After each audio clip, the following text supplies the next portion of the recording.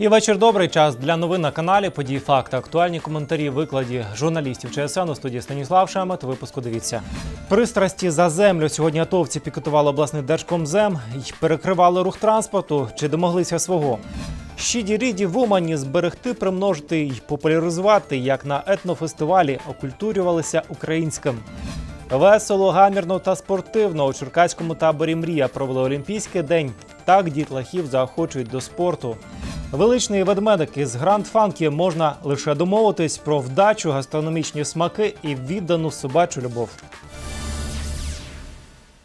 І тепер про ці та інші теми докладніше. У Черкасах сьогодні атовці перекрили вулицю Смілянську біля обласного управління Держгеокадастру. Зранку вони зібралися там з вимогою надати їм гарантовану законом землю для ведення сільського господарства у Христинівському районі.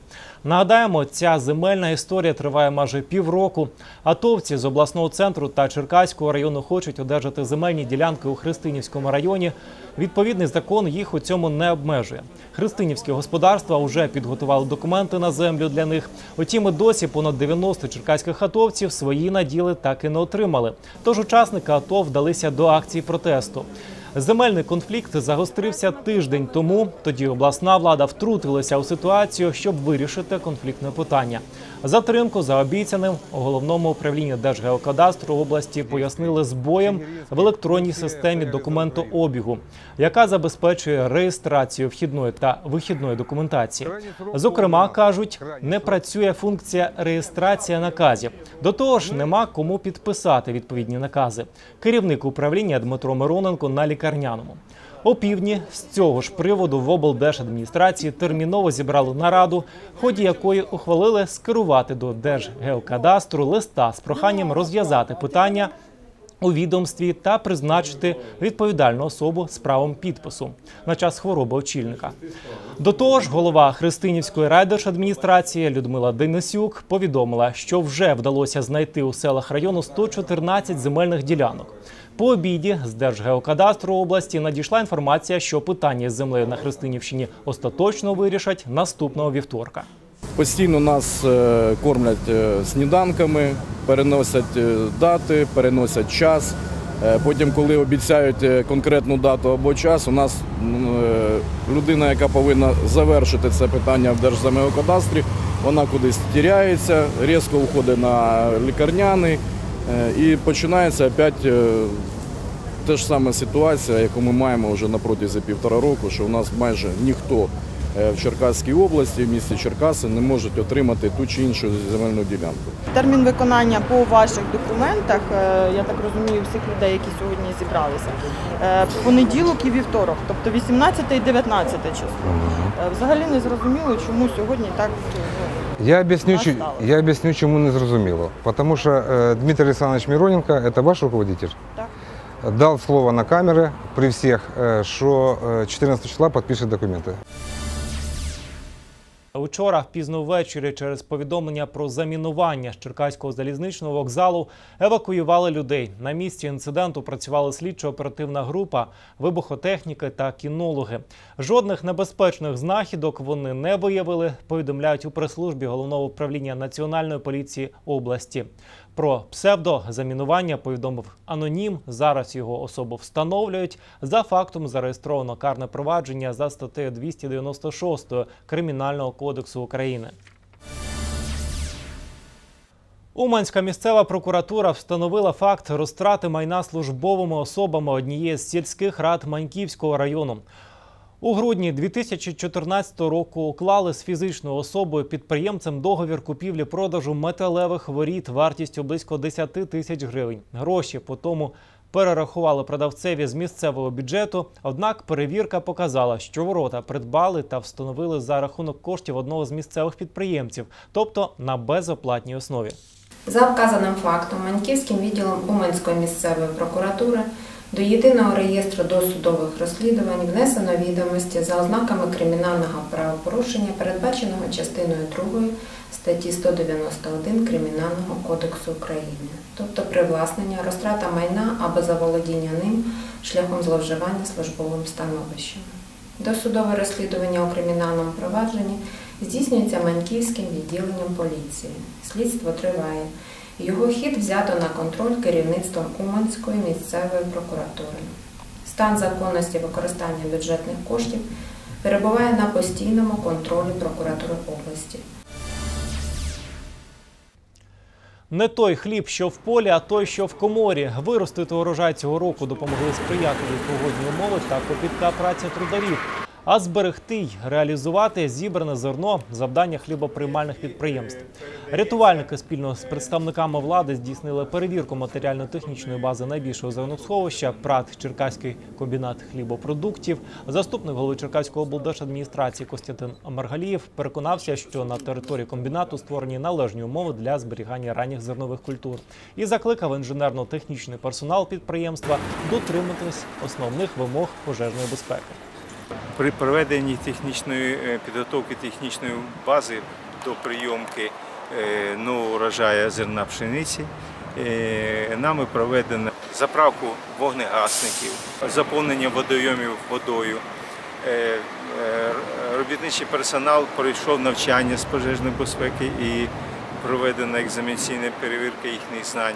Сподіваємось, що е, заходи, які вжиті колективом підприємства, забезпечують пожежну безпеку підприємства.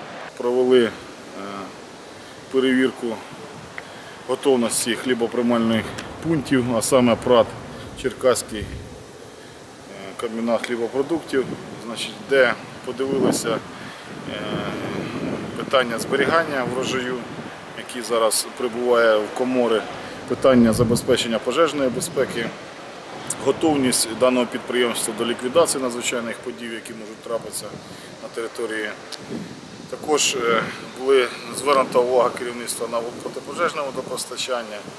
Е, Доповіли нам про кількість, готовність значить, сил та засобів, які є на підприємстві. В цілому е, підприємство готово до приймання хліба до ліквідації будь-яких надзвичайних ситуацій та подій. Громадську акцію Запобігти, врятувати, допомогти провели рятувальники для дітей оздоровчого табору пролісок в селі Бужанка Лисинського району. Насамперед, аби навчити підростаюче покоління основам безпеки життєдіяльності та правильним діям в умовах небезпеки. Дітвора табору активно відповідала на запитання щодо правил безпечного відпочинку та на природі. Водоймах та під час виявлення вибухонебезпечних предметів діти з задоволенням приміряли на себе робочі костюми вогнеборців та роздивилися зблизька пожежно-рятувальну техніку й оснащення бійців ДСНС. Етнофестиваль Щідіріді відбувся в Умані. За мету організатори поставили популяризацію української культури. Для цього влаштували майстер-клас, літературну сцену, народні ігри. Звучала національна музика. Усе це бачили і наші колеги з Умані. Об'єднати молоде та старше покоління, пов'язати сучасне та минуле України, пробудити інтерес до історичного та культурного спадку батьківщини. Це справжнє покликання фестивалю Щідіріді. Захід потрапив у топ п'ятірку найочікуваніших свят Черкащини. Тут можна було навчитися будь-якому народному промислу від провідних майстрів, а ще насолодитися українськими автентичними піснями, виконаними у сучасних стилях.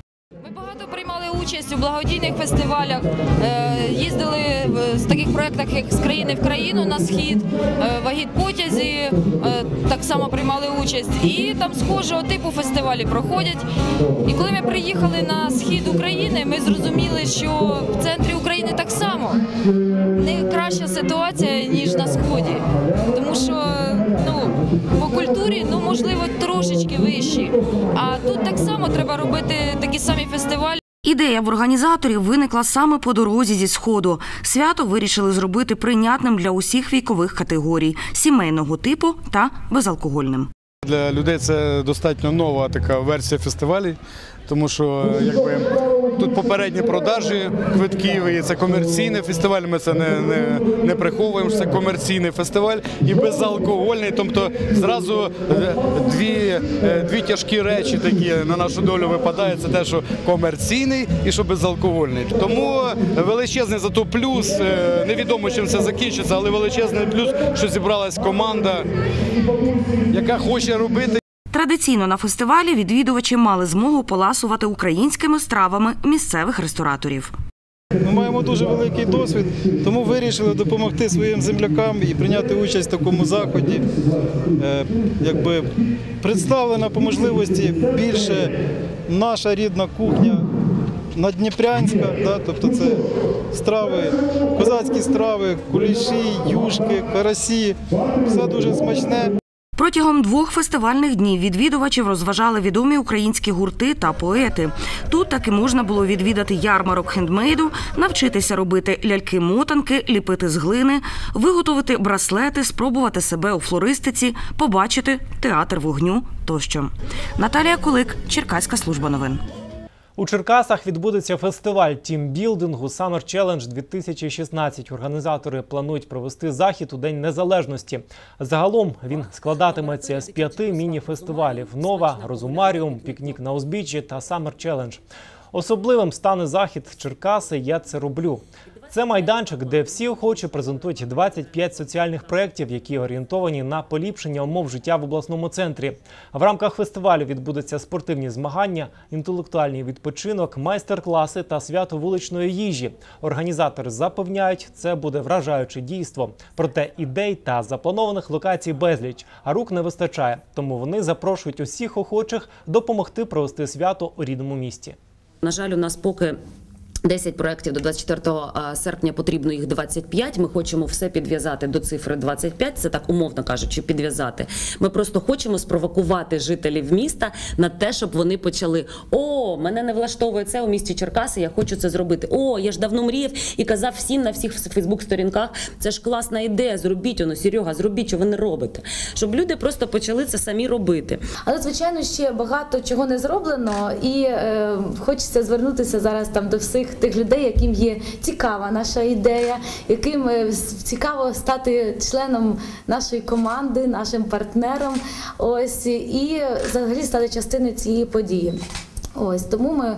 Е, Відкриті для того, щоб е, з нами співпрацювати, ось ну і звичайно підтримати нас і морально, і фінансово. Черкаська фітнесистка з міжнародною нагородою Дарина Корнієнко виборола золото на чемпіонаті світу з дитячого фітнесу. Змагання відбулися у Сербії. Наскільки складно дався цей результат та які враження у спортсменки дізнавалися наші журналісти.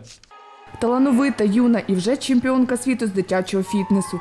Це про восьмирічну Дарину Корнієнко. Цього року вона вирішила спробувати свої сили не лише в Україні, а й на міжнародних змаганнях. Майже кожного року Сербія проводить чемпіонат світу з дитячого фітнесу. Позмагати за звання найкраще приїхали діти з низки країн світу. Серед них Мексика, Угорщина, Польща, Росія та Словаччина. Дарина змагалась у категорії 8-9 років. У неї було 20 суперниць, які хотіли здобути медаль, але черкащанка виявилась кращою. Я приїхала з е, чемпіонату світу. Я виграла перше місце. Е, мені це сподобалося. Я змагалася 8-9 років. Всі дітки були е, добре підготовлені, але мені повезло і я виграла перше місце. Тренування для Дарини це звичний режим. Кожного дня на спортсменку чекає по 2,5 години, все заради бажаної перемоги. Для мами Дарини її дитина гордість. Увесь вільний час вона приділяє їй. Здобути перше місце, е, стати першою на таких великих змаганнях це в нас вперше, звичайно. Але цього року вона також виборола Кубок України в Чернівцях, який проходив. Е, Багато перших місць е, тут е, в Черкасах, Кубок Черкас, Кубок Черкаської області. Для Дарини головне підтримка батьків та її тренера. Завдяки ним вона здобуває тільки кращі результати і знову прагне перемагати. Мені це подобається, мене це виходить, і там дуже багато діток.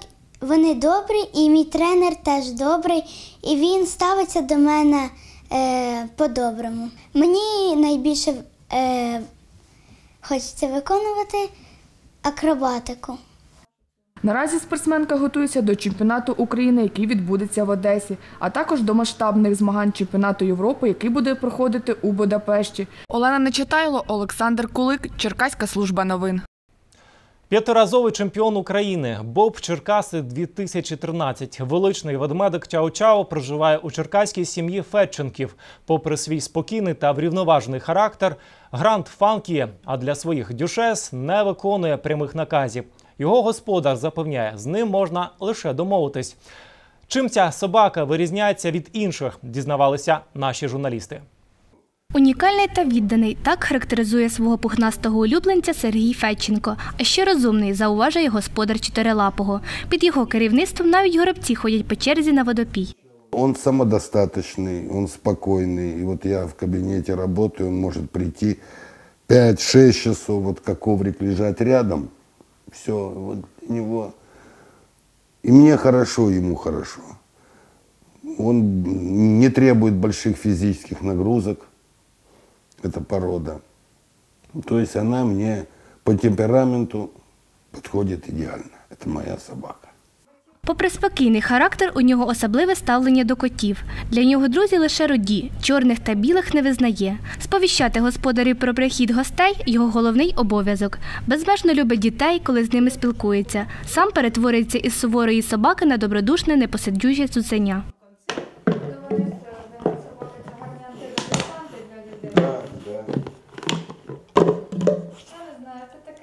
Він не схожий на жодну із порід. У нього лапа, як у кішки, має 44 зуби, як у ведмедя. У нього дуже специфічна шерсть. Через відсутність потових залоз вона не має запаху. Проте й це є його недоліком. Дюшес погано переносить спеку. Єдиним терморегулятором є його язик. За правильне харчування відповідає пані Світлана, господиня чемпіона. Вона розповідає, собаки породи чау-чау добре відносяться до рослинної їжі. Через слабку печінку масного їм не можна. До того ж, невід'ємною частиною їх раціону є індичка та зелень. Риба та куряче м'ясо цим тваринам заборонені, адже можуть привести до алергії. Конечно, многие говорят, вот большая собака требует, значит, много еды и больших расходов. Да неправда. Вот. Собака хоть и большая, когда они маленькие щенки, да, они прожорливые, как и все маленькие, все молодежь, есть, любят. С возрастом, уже в возрасте где-то двух-трех лет, он спокойно переходит максимум на двухразовое, но небольшими порциями, или одноразовое. Но мы зимой все-таки кормим два раза, чтобы не перегружать, а летом тоже сходим до одного раза, вот вечером, когда уже совсем прохладно, и утром стаканчик ряженки, кефира, что-то кисломолочного. Все. А еды, ну, максимум полкилограмма, это всей вот этой вот смеси. У 2017-му господарі пухнастого красення планують вивести його на чемпіонат Європи 2017, який проходитиме в Києві. Вони сподіваються і там отримати найвищі визнання для свого домашнього улюбленця. Надія Хандись, Олександр Швець, Черкаська служба новин. Фінішує випуску зі спортивною інформацією Віталій Аністратенко. Далі ще прогноз погоди, а прикмети часу у випусках ЧСН о 16, 19, пів на 10 вечора. Новий інформаційний тиждень стартує в понеділок. До зустрічі.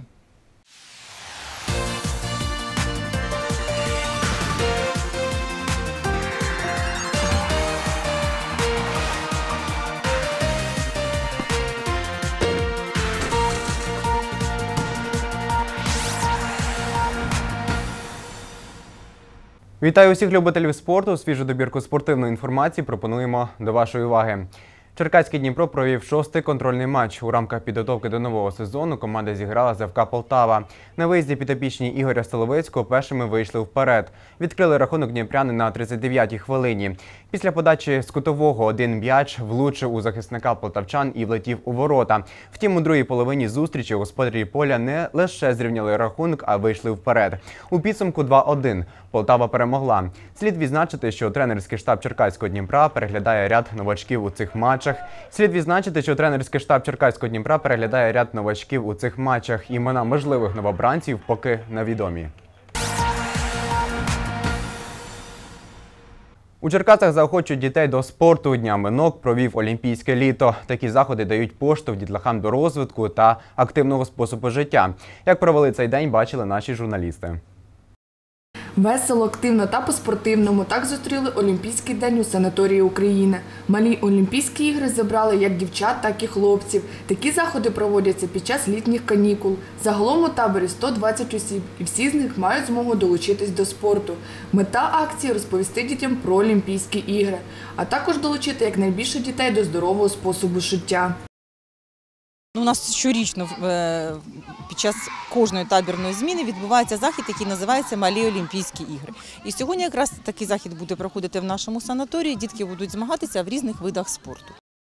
120 дітей, серед них є професійні спортсмени. Всі вони тут, аби позаймати спорту і заохочувати інших. Загалом дітей розподілили за віковими категоріями. Вони змагались у п'яти різних вправах, серед них теніс, прес, присідання, набивання м'яча.